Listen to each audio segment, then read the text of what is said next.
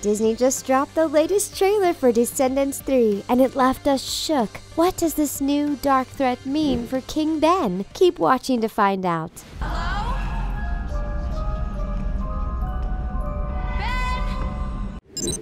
The trailer. On March 15th, 2019, Disney Channel dropped the newest trailer for Descendants 3. Everyone is pumped to see the final installment of the Descendants franchise, but Disney has been really tight lipped about the whole thing. They have released very few details about the movie. It revealed a whole new aspect of the movie that we didn't see coming at all. It's called Mal's Darkness, and the video has a skull emoji. Yikes! Let's take a look. The trailer starts with King Ben and Mal coming out of the castle to look at the people of Auradon. Ben is wearing his Auradon prep jacket, and Mal is looking fierce in a pink dress. We bet it was designed by Evie. Behind them are Ben's parents, Belle and Adam. Fairy Godmother is also there, and she has her wand. Everyone is cheering. Mal and Ben look super happy, but as Mal overlooks the crowd, she gets a flash of magic. Then she is transported somewhere dark and scary. She's all alone and confused. Soon we realize that she is in the castle, but it's completely abandoned. There are some weird noises and fog. Mal starts to investigate. We hear a sinister laugh in the background as she sees a stone statue of Ben.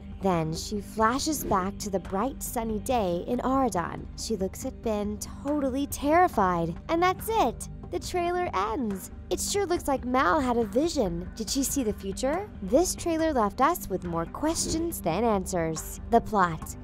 We have gathered little bits and pieces of the plot of Descendants 3. We know from the first teaser that Mal meets her dad, and it's pretty much confirmed that her father is Hades. We also know that Uma is back. She told us that at the very end of the second movie. As far as the storyline, here's what we know. Mal and the other VKs go back to the Isle of the Lost. They are there to recruit the next generation of VKs for Auradon Prep, which is pretty awesome. And we just know King Ben and Evie are behind this. But while they are there, something happens that causes a barrier breach. Mal closes the barrier to protect Auradon. She is afraid that Uma and Hades will attack the kingdom. But in the second trailer, it looks like Uma and her gang are fighting this same enemy as Mal. We also know that there is another new villain, Dr. Facilier from The Princess and the Frog. His daughter is one of the new VKs. And Audrey is back and dressed like a villain. Dove Cameron, who plays Mal, has said that the new movie has higher stakes and a heavy dose of action. We can't wait to see how all these details come together. It's sure looking like Mal will have to tune into her bad side in order to defeat the new threat. The Hades Connection so, what does this mean for Ben? Well, we think the answer lies with Hades. The statue of Ben doesn't look like some artistic sculpture of the king. He looks frozen in place and scared. And it's not very good quality, like a piece of art. It sure looks like he's been turned into stone. Yikes! Hey, haven't we heard stories of people being turned into stone before? We sure have. In Greek mythology, Medusa is a gorgon. This means she has snakes for hair, and if you look in her eyes, she will turn you into stone. What Disney villain is from Greek mythology? Hades, of course. According to legends, Hades was the god of the underworld, and he was the villain in Disney's 1997 film Hercules. In that movie, Hades tries to overthrow his brother Zeus, and he goes after Zeus's son, Hercules. Hades lures Hercules to the underworld using his love interest, Meg. Okay, we're starting to see some connection here. The trailer that dropped in the UK definitely highlighted King Ben's crown. That makes us think that Hades is trying to take control of Auradon, and Hades has a history of using a love interest to get what he wants. And then there's the fact that the only creature that we know of that turns people to stone is also from Greek mythology. Yep, we're pretty sure Hades is behind all of this.